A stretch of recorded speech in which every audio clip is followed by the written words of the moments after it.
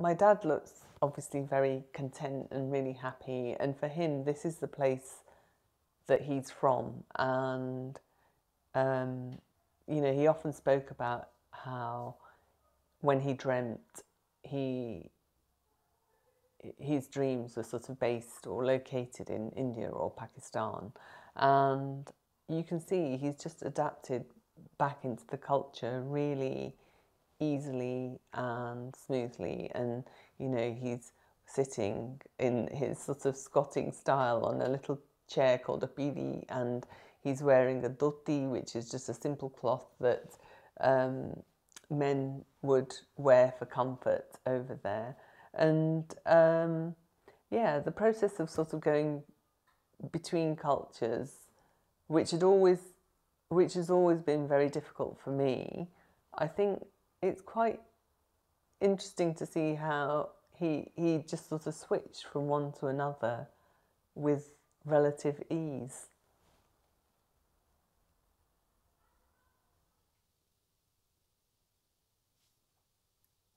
An erratic is the name given to a rock that's uh, a large rock, usually, that's been carried across the landscape, sometimes for hundreds of miles, frozen into a glacier, picked up from its point of origin and then carried across the landscape. And then eventually, when the glacier um, melts, it's deposited in, in a, a sort of strange and usually foreign landscape. The term was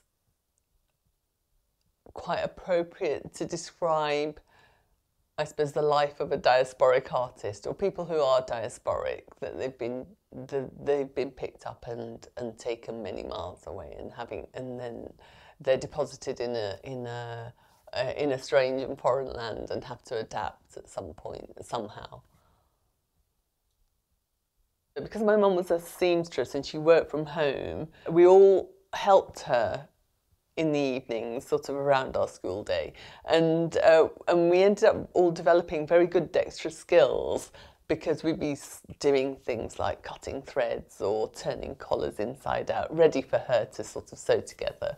And then that uh, meant that when I went to art school, those were the skills that I had. It was the manual making that led me into working with ceramics. And even though I tried to resist it at art school because I felt it was quite a sort of mm, almost like a feminine and very domestic uh, pursuit to be working with clay. And I actually wanted to be working much more with wood or metal and using machinery and and making work that was much more sort of physical and probably more masculine as well, just to break away from those stereotypes, really.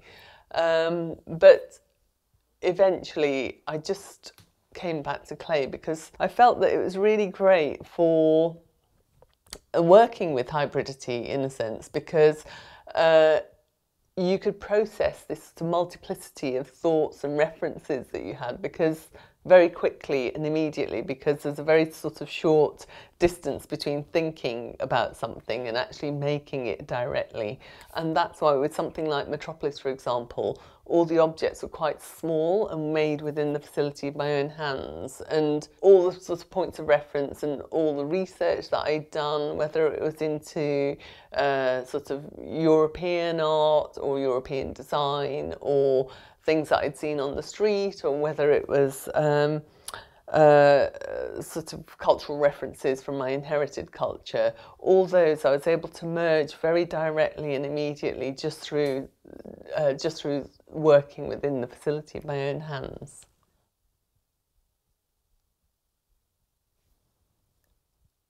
So horror vacui is a term that's quite often used to describe use of pattern and ornamentation in non-Western cultures, a term that loosely translates as fear of empty space, and it's in direct opposition to Western minimalism, which is the education that I received at art school.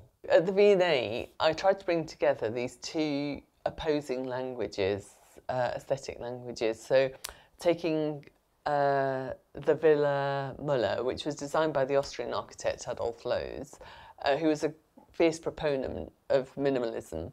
Uh, and then completely covering it with ornament and uh, decoration um, using the language of horror vacui. Because of these two disparate ways of working that I developed, the tile work on the one hand and then the sculptural work that I'd left behind, I ended up with two very separate ways of working. So I tried to merge the processes by applying industrial processes to the sculptural work and and then applying manual processes to the industrially produced elements of the work. The result was uh, the formal language of the sculptural work, um, but actually the techniques and processes that I developed through um, research conducted during my um, uh, during my commissioned work. And these are sort of modular pieces. So I was using waterjet cutting to cut uh, quite complex forms into the industrial tile modules and then overlaying them always with uh, a manual process. So that meant overlaying them quite carefully with uh, multiple layers of glaze. The glaze obviously only develops during the firing. So when you're overlaying glaze, you have to have a knowledge of how a glaze is going to appear post-firing. So I've got this sort of ability to retain memory of colour in my mind. And there's this sort of careful placing of elements to make sure that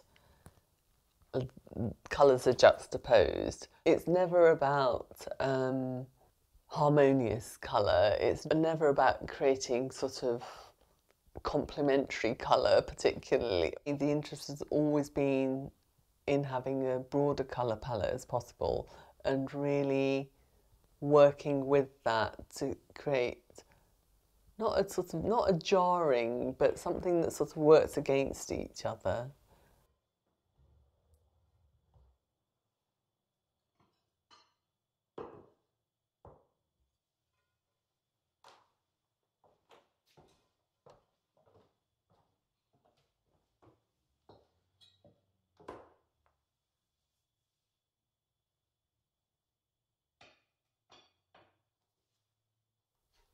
The tableaus for me still carry that sense of awkwardness and being this sort of almost like a disobedient object, you know, it doesn't really fit within any parameters of uh, of categorization. And I think because they're in landscape format often they're read as uh, architectural groupings. And the sorts of groupings that you might find say uh, somewhere in India for example where you have architecture from many different time periods juxtaposed against each other. So sometimes you might see uh, a steel skyscraper with uh, which is being built with um, bamboo scaffolding, for example, and that could be um, a sort of shoulder to shoulder with uh, a Hindu temple or a, a, small shack selling sweets, for example. And those sorts of juxtapositions are really common in places like India or Pakistan. It's the language of, of sort of metropolis, so it's it's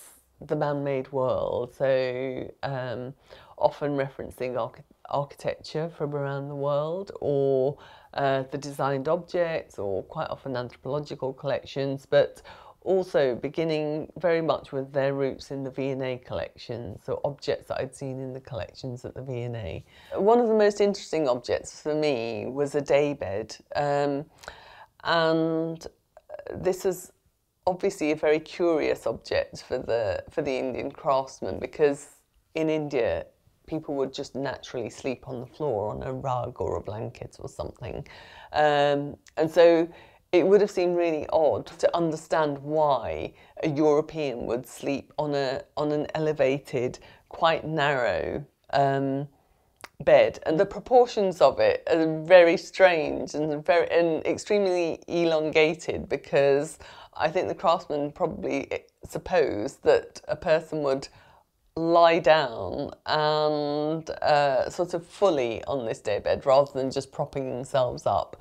A sort of a slippage in a way in the understanding of the way that this object is going to be used. And similarly, with the wooden objects in the exhibition, they came out of a, a desire to move away from uh, the tradition of making directly in the crafts.